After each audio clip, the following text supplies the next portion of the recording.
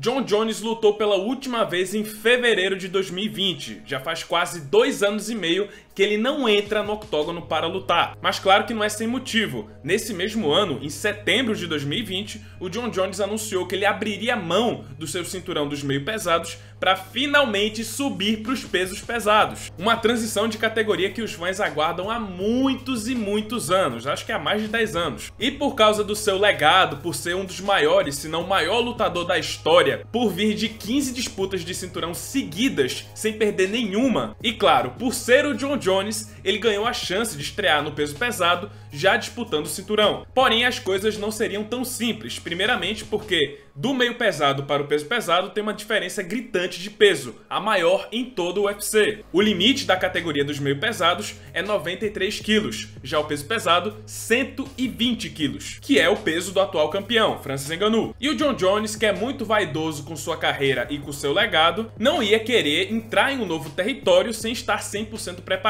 principalmente porque de cara ele já vai enfrentar o campeão. Então o plano do John Jones não era só subir de categoria, e sim se transformar de fato em um peso pesado. E para isso, ele também anunciou que ia passar um tempo fora para iniciar uma série de treinamentos para fazer essa transição de categorias. O foco desses treinamentos para o John Jones é ganhar massa muscular, ficar mais forte, mais musculoso. Ele que tem como base o wrestling, né? Então ele precisa ter força para levantar os atletas do peso pesado, que pesam até 120 quilos. Mas ele quer fazer isso, ganhar massa muscular, sem perder muita performance. Ele quer tentar manter a mesma performance que ele tinha lutando nos meio pesados. Porque quando você fica mais forte, mais musculoso, você tem um gasto de oxigênio maior, você cansa mais rápido. Então o John Jones, ele quer ganhar massa muscular, porém ele também quer dar o tempo suficiente para o seu corpo se acostumar com esse novo porte. Então seria um processo demorado. Pior ainda, porque o biotipo do John Jones, que é um ectomorfo, um cara magro, com os membros compridos, tende a ter dificuldade de ganhar massa muscular. E essa transição de categoria atrasou ainda mais por causa dos problemas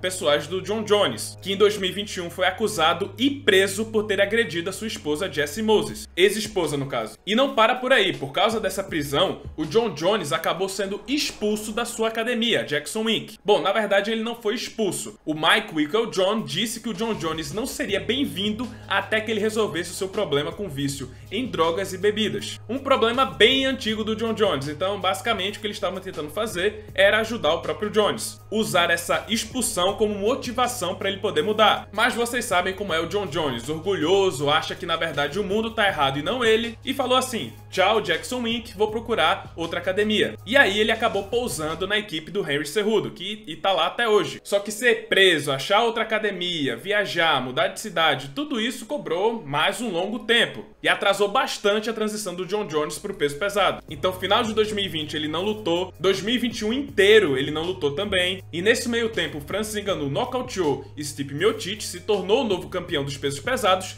e defendeu seu cinturão contra Cyril Gane. Porém, nessa luta contra o Gane, o Ngannou acabou agravando uma lesão que ele tinha no joelho e teve que passar por cirurgia. E nesse meio tempo, finalmente o John Jones disse que tá pronto. A sua transição para os pesos pesados foi concluída, ele já tá pronto para lutar. Ele afirmou ainda que sua próxima luta só não foi confirmada porque ele ainda tá esperando uma decisão do UFC. Se vai esperar pela recuperação de Francis Ngannou ou se vai criar um cinturão interino, já que o campeão linear, o Não pode lutar. Bom, pessoal, tentei resumir aqui a história da situação de John Jones e a sua transição para o peso pesado aqui de forma bem rápida. E chegamos então a hoje, com novas informações do repórter Ariel Hawani. E segundo Hawani, pelo visto o UFC vai com a opção B, criar um cinturão interino que será disputado entre John Jones e Stipe Miocic. Eu já tinha adiantado essa possibilidade em outros vídeos aqui no canal. E pelo visto, temos finalmente uma data para essa luta. Segundo a informação do Ariel Hawani, o UFC está trabalhando para ter John Jones e Stipe Miocic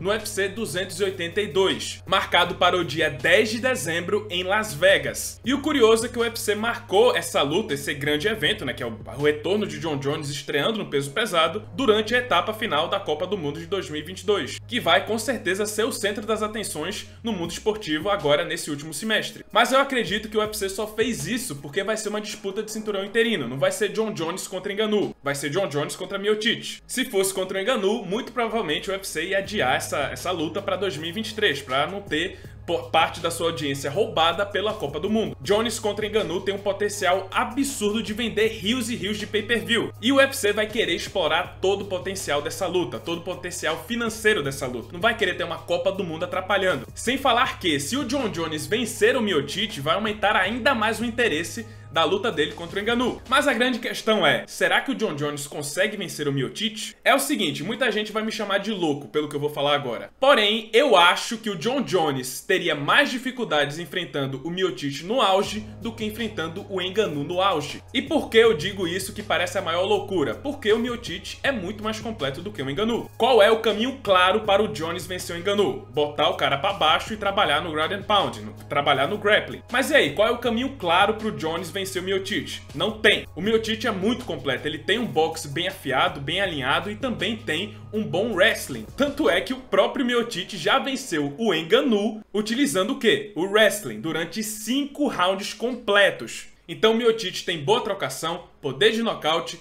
boa luta agarrada e consegue lutar 5 rounds completos tranquilamente. Então não há um caminho lógico a ser seguido para bater o Miotite. E por isso eu acho que ele é uma luta mais complicada para o John Jones do que o próprio Francis Ngannou. Você pode discordar à vontade, isso aí é só a minha opinião. Porém, isso eu tô dizendo o Miotite no auge, eu não sei como ele tá agora. Até porque ele também não luta há um bom tempo, desde março de 2021, e também tá com 39 anos de idade. Nessas condições, então, eu diria que o John Jones é um claro favorito contra o Miotite. Lembrando que nada ainda foi oficialmente confirmado pelo UFC, os contratos ainda não foram assinados, essa informação partiu do Ariel Hawani. Assim que a luta for oficializada de fato, eu vou trazer aqui a informação para vocês. Outra informação do Ariel Hawani, essa aí já tá praticamente confirmada pelo que ele disse, é que nesse mesmo evento, o UFC 282, vai ter a revanche de Glover Teixeira contra Hiri Prohaska. Esse rumor já é mais forte porque o próprio Prohaska e o Glover postaram em seus twitters essa data. E como o Prohaska já disse que quer essa revanche, o Glover também disse que quer revanche e o próprio Dana White também concordou, acho então que dá para dizer que a luta tá praticamente confirmada, é só assinar os contratos. Então, pessoal, para fechar o ano de 2022, no último pay-per-view, o UFC 282, podemos ter John Jones contra Stipe